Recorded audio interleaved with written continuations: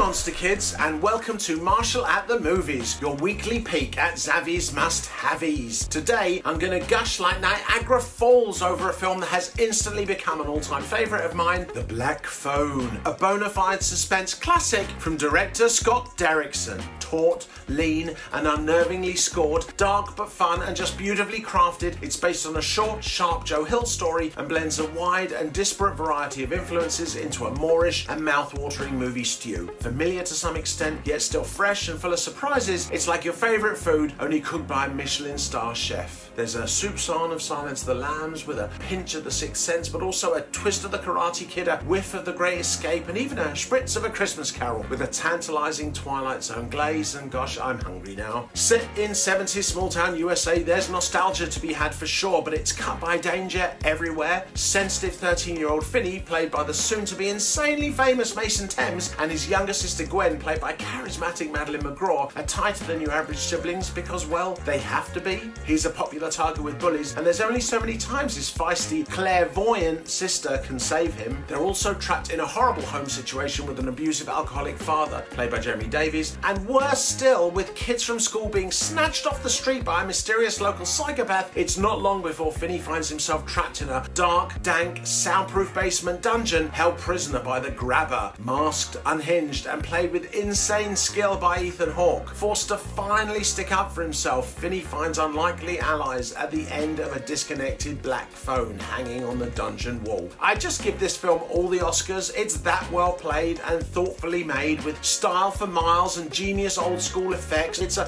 masterclass in movie making, frightening, exciting, and dramatic, with humour hiding in even the darkest spaces, and you're so invested in it all. Honestly, the edge of your seat's going to be on the edge of its seat.